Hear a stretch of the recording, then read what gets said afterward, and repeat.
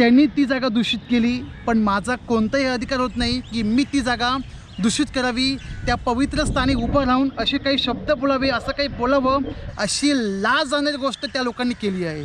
खरंच तिकडून तुम्ही बाय रोडने येऊ शकता तुमची स्वतःची प्रायव्हेट कार असेल. नमस्कार मंडळी जय महाराष्ट्र मी भूषण गावडे तुमचं पुन्हा एकदा एका नव्या व्हिडिओमध्ये स्वागत करतो. मंडळी आज दिनांक एक ऑगस्ट दोन हजार बावीस. आज आहे पहिला श्रावणी सोमवार. परंतु त्याआधी सगळ्या भाविकांचे सगळ्या प्रेक्षकांचे या पवित्र आणि चांगल्या श्रावण महिन्यामध्ये हार्दिक हार्दिक स्वागत आहे. तर मंडळी आज श्रावण सोमवार आहे आणि या श्रावण सोमवारी मी तुम्हाला घेऊन चाललो आहे थेट खोपोलीला. ते म्हणजे परमपूज्य गगनगिरी महाराज यांच्या मठामध्ये. हो मंडळी आज आपण व्हिडिओमध्ये गगनगिरी महाराज यांचं मठाचं दर्शन करणार आहोत. त्यासोबत इकडे राहण्याची कोणकोणती सुविधा उपलब्ध आहे? प्लस इकडे येण्याचा मार्ग कसा आहे? बाय रोड आणि बाय ट्रेनने. ते सगळं काही तुम्हाला व्हिडिओमध्ये पाहायला मिळेल. तुम्हाला फक्त काय करायचं माहिती आहे का? पुढची पंधरा ते वीस मिनटं सगळी कामं सोडून महत्त्वाची नाही हा? जर तुम्ही रिलॅक्स असाल फ्री असाल तर सगळी कामं सोडून आरामात पंधरा ते वीस मिनटामध्ये या मठाचं दर्शन घ्या. याची संपूर्ण माहिती तुम्हाला मिळेल. तुम्हाला फक्त व्हिडिओ शूटपर्यंत पाहत राहायचं आहे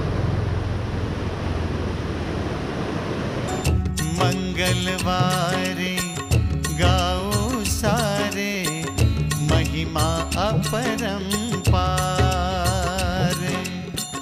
मंगलवारे गाओ सारे महिमा अपरंपार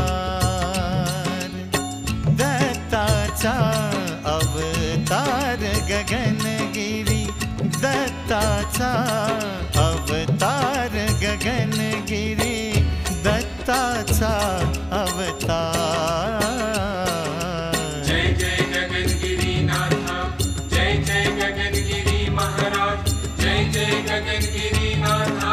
जय जय गगनगिरी महाराज। मंगलवारे गाऊ सारे। महिमा अपरंपार तर असं काही आहे परमपूज्य गगनगिरी महाराज यांच्या मठाचा ओव्हरव्ह्यू तिकडे प्रत्येक प्रत्येक टप्प्यावर लिहिलेलं आहे की शांतता राखा जास्त गडबड करू नका किंवा जास्त उंच आवाजात बोलू नका. त्यासाठी मी बाहेर आलो आहे. आता आपण जाणून घेऊया या मठाबद्दल माहिती प्लस परमपूज्य गगनगिरी महाराज यांच्याबद्दल माहिती आणि इथे हा समाधी मठ आहे त्यांनी जी समाधी घेतली या ठिकाणी घेतली. प्लस इकडे येण्याचा मार्ग इकडे कोणकोणत्या सुविधा उपलब्ध आहेत ते आपण जाणून घेऊ. गगनगिरी महाराज त्यांचे मूळ नाव श्रीपाद बाळासाहेब पाटणकर. यांचा जन्म एकोणीसशे सहा साली झाला.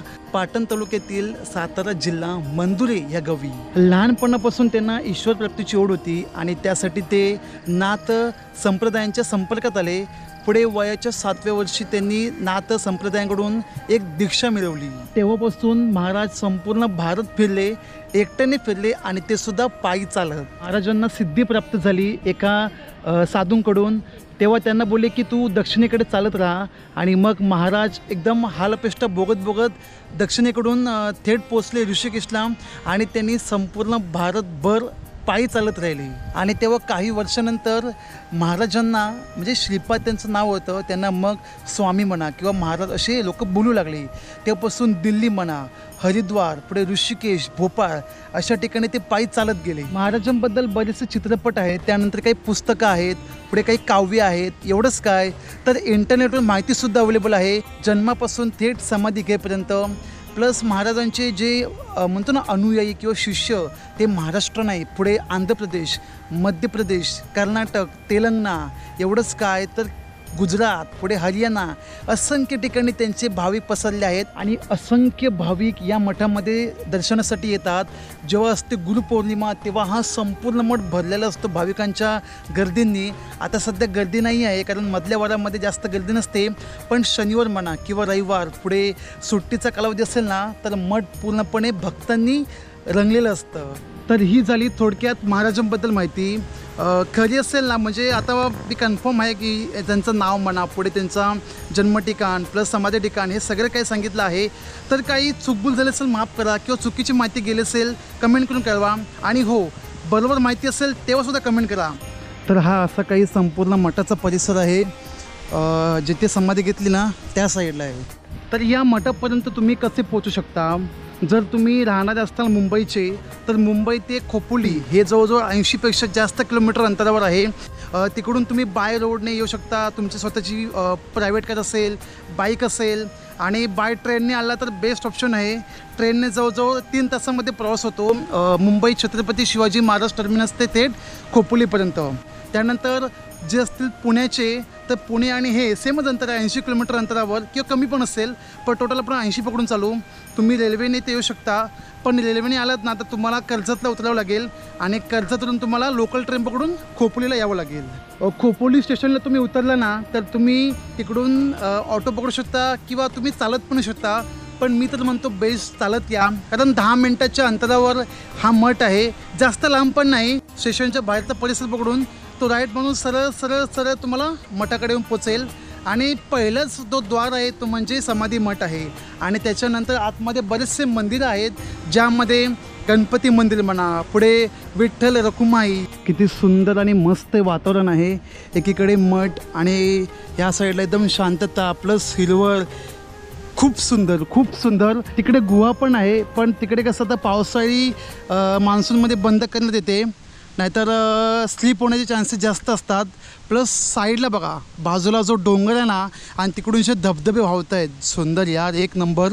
तर हा जो हेलिकॉप्टर वॅन आहे ना त्याच्याच इथून बरोबर दिसते ती म्हणजे गुफा. बघा माझं जे बोट दिसतंय ना हे बघा. झूम करतो मी वाटलं तर. ही आहे गुफा. म्हणजे वरती जायला तिकडे पण बरंचसं काही काही पाण्यासारखं आहे. परंतु कसं माहिती का तिकडे संपूर्ण बाजूचा परिसर शेवाळ झालेला आहे. प्लस वरून दगडी कोसळण्याचे चान्सेस जास्त असल्यामुळे तिकडचा परिसर बंद केला आहे. तुम्ही हा सुद्धा आवाज ऐकू शकता? हा जो आवाज आहे ना तो बाजूने वाहणारे नदीच्या पात्रातलं पाणी आहे म्हणजे पाताळगंगा तीर्थक्षेत्र असं त्याला बोललं जातं. पुढे पुढे पुढे आलं तर शंकराचं मंदिर मिळेल. त्यानंतर अं, गोटसुद्धा आहे. प्लस या साईडला हेलिकॉप्टर व्हॅन. समोरच तुम्हाला दिसेल म्हणजे काय? समाधी मठ. तिथे महाराजांचा फोटो आहे त्यांची मूर्ती आहे प्लस त्यांचे पादुका आहेत त्याचं दर्शन घ्या. तिकडे महाराज असतात दुसरे म्हणजे आपले म्हणतो ना बडजी काका म्हणतो. प्लस तिकडे सवेकरी सुद्धा असतात ते तुम्हाला प्रसाद देतील. आणि नंतर मग बाजूला नदी वाहते ती म्हणजे पाताळगंगा नदीचं पाणी. सुंदर ते सुद्धा दृश्य पाहण्यासारखं आहे की मठाच्या बाजूला असं ओसंडून वाढलेलं पाणी. गणपती मंदिर आहे पुढे देवी लक्ष्मीचं मंदिर आहे विठ्ठल रकुमाई असे बरेचसे मंदिर आहेत एकाच ठिकाणी आहेत.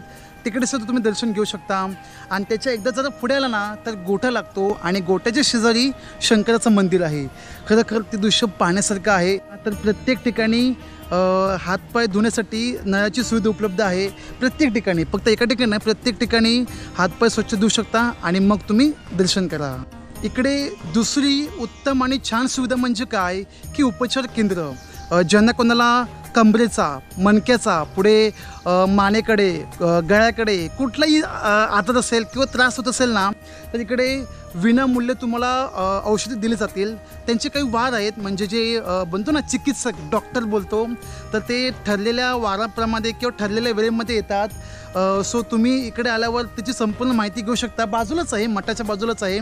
म्हणजे प्रत्येक म्हणतो ना प्रत्येक रोगावरती वेगवेगळे डॉक्टर येतात. त्यांचे ठरलेले वार आहेत वेळ आहे त्यानुसार ते येतात. तुम्ही इथे योगा करू शकता. त्यांचे उपदेश घेऊन त्यांचे मार्गदर्शन करून तुम्ही इथे योगा करू शकता. तर तिकडे तो मठ आहे आणि असं फिरून फिरून फिरून फिरून ह्या साईडला पोचलो. आपण इथे कुठे? जिथे हेलिकॉप्टर लँड होतो. आणि परत तुम्ही खाली गेलात ना तर तिकडे जाऊन पोचाल सो असा गोलाकार काही परिसर आहे आणि खूप सुंदर परिसर आहे. म्हणजे एक प्रकारे शांतता देणारं. पण कसं माहिती आहे का? इकडे बाजूला कॉलेज आहे आणि कॉलेजची ते डांबीस पोरं आहेत ना इकडे येऊन असे घाणेरडे प्रकार करतात ना की विचारू नका. या पवित्र ठिकाणी जाऊन तुम्हाला सांगणार नाही. कारण त्यांनी घाणेरडं काम केलं आहे पण मी हे घाणेरडं काम करणार नाही. मी जरा बाहेर जातो आणि त्यांची जी घाणेरडं चाळी आहेत ना तुम्हाला सगळे सांगतो. सगळे इकडे बघा परमपूज्य स्वामी गगनगिरी महाराज यांचे विचारधारा पण आहेत. सज्जनांची संगत धरली तर मनुष्य अत्यंत चांगला वागतो. सुंदर वाक्य आहे. पुढे सगळ्यात महत्त्वाचं म्हणजे इकडे राहण्याची खाण्याची सुविधा. तुम्हाला खाण्याबाबतीत तुम्हाला स्वतःच आणावं लागेल कारण इकडे जवळपास दुकानं वगैरे काहीच नाही. अगदी स्टेशनपासून पण. मोजके फक्त एक दोन दुकानं आहेत जिथे तुम्हाला बिस्किटं म्हणा किंवा चॉकलेट एवढंच मिळेल. काही रेस्टॉरंट किंवा हॉटेल वगैरे असं काही नाही. जे भक्त लोक येतात त्यांना राहण्यासाठी सुविधा आहे. म्हणजे दोन म्हणा तीन दिवस चार दिवस एक वेळ बोलू शकतो पण स्टे हाऊस हे राहण्यासाठी आहे आश्रमातलं. हे बघा समोर. सो आता याचं बांधकाम होतं चाललं आहे. फक्त वरचा कित कब तक कंप्लीट हो गई. हो अभी कम से कम छः सात महीने लग सर. अच्छा म्हणजे बोलतात की एका वर्षामध्ये पूर्ण होईल. आणि हे काम पण जोरदार सुरू बघा या साईडला. आपण तुम्ही काम करता का या साईडला अभी हम करते हैं। ये अच्छा. अपना वाटर टैंक आरसीसी का काम हम ही करते सर. आर सी सीचं. बरं बरं बरं. आणि या साईडला बघा वानर आलेले आहेत. केडली बारक्या आपलं आपल्या लेकरूंना पण घेऊन जाते बघा त्या साईडला. की माझ्या पायात बघू शकता चपला नाही आहेत. चपला मी बाहेरच काढलेल्या आहेत. सो तुम्ही सुद्धा येणार असाल तर चपला तुम्हाला बाहेर काढायची आहेत. पण लक्षात ठेवा मंदिराच्या बाहेर चपला काढू नका. इकडून गायब होण्याचे चान्सेस जास्त असतात. तर तिकडे बाजूला दादा बसले असतात जे तुमची चपलांची काळजी घेतील.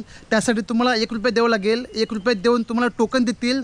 आणि तो जाताना तुम्हाला टोकन रिटर्न करायचं आहे. आणि चपला घ्यायचे. तर तुम्हाला हा जो रस्ता दिसतोय ना हा वरती गुहेकडे जातो आणि पुढे शंकर मंदिराकडे. रविवारच्या वेळेस ना पूर्ण रस्ता भरलेला असतो. म्हणजे चालायला वाव नसतो एवढा. तर आता पूर्ण बघा गर्दी कमी आहे. कारण मी मधल्या वारामध्ये आलो आहे ना म्हणून. या साईडला मंदिराच्या आतमध्ये वॉशरूम म्हणा किंवा बाथरूम यांच्यासुद्धा सोयीसुविधा उपलब्ध आहेत.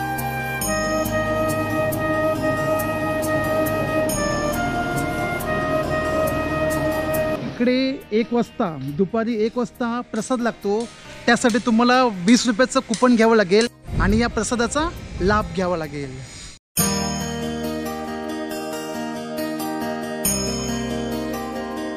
तर थोड्या वेळामध्ये आरती होईल आणि मग प्रसाद लागेल.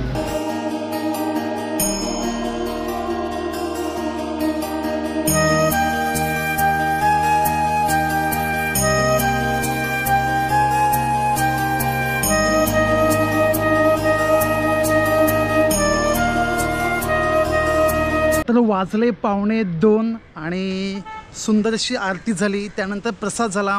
प्रसादामध्ये तुम्ही पाहिलं असेल की भात डाळ कोबीची भाजी आणि जो तो करतात ते शिरा.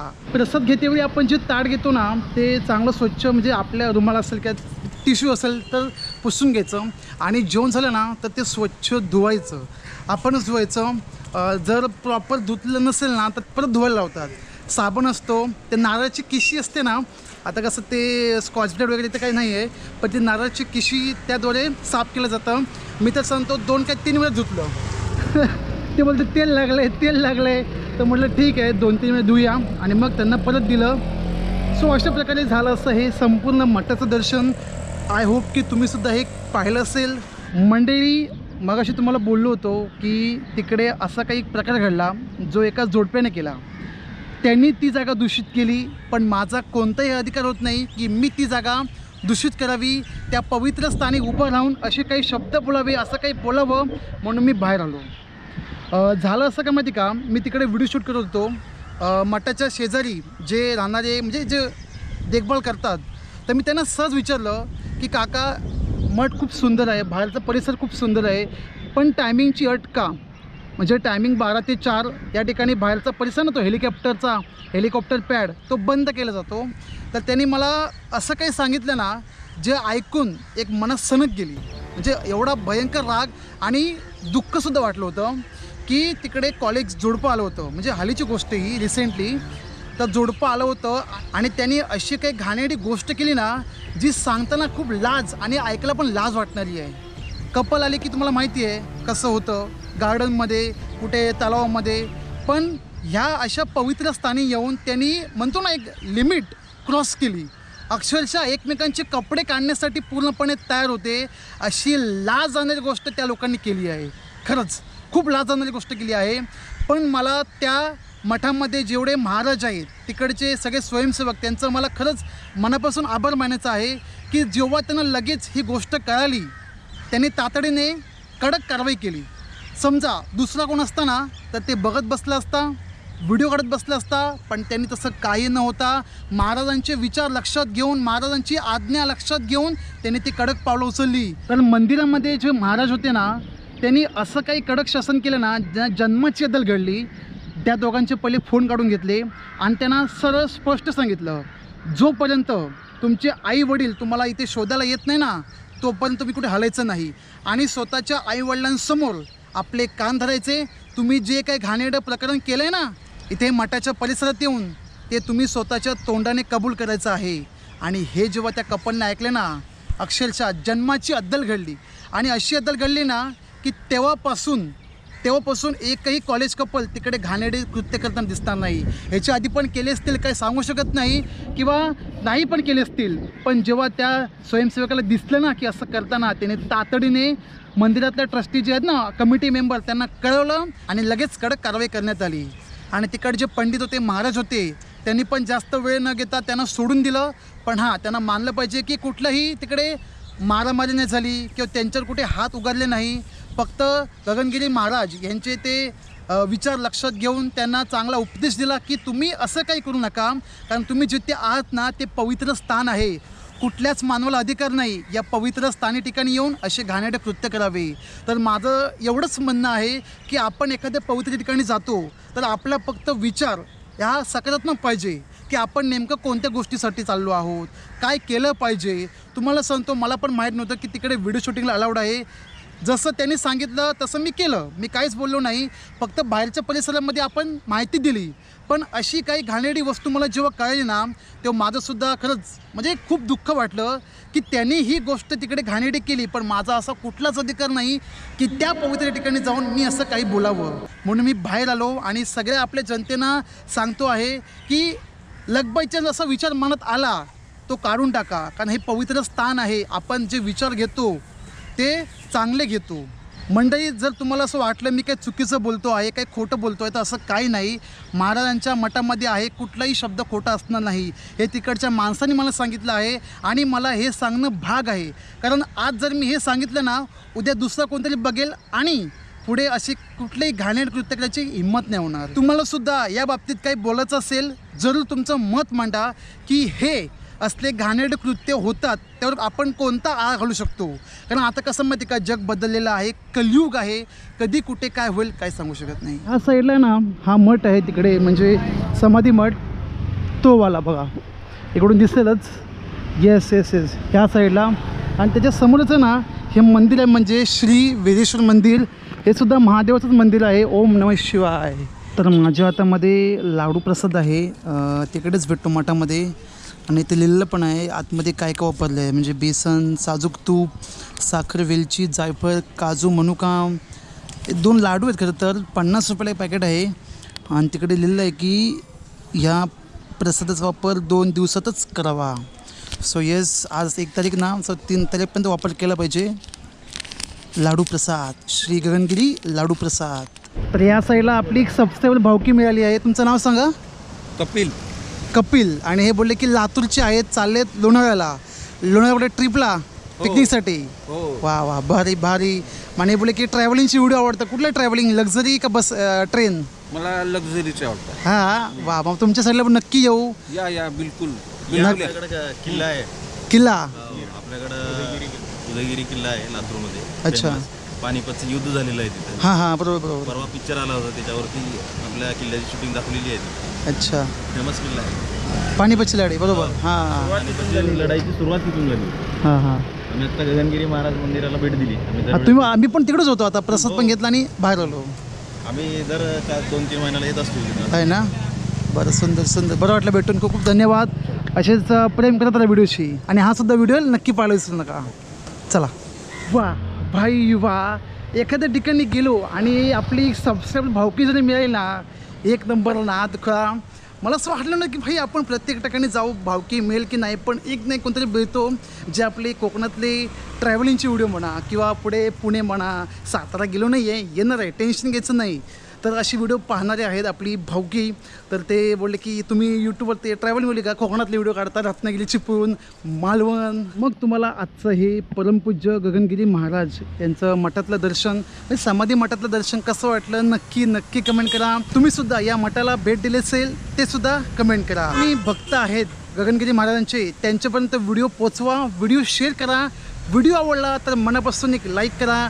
नाही आवडला तर मनापासून बिंदास्त डिस्लाईक करा.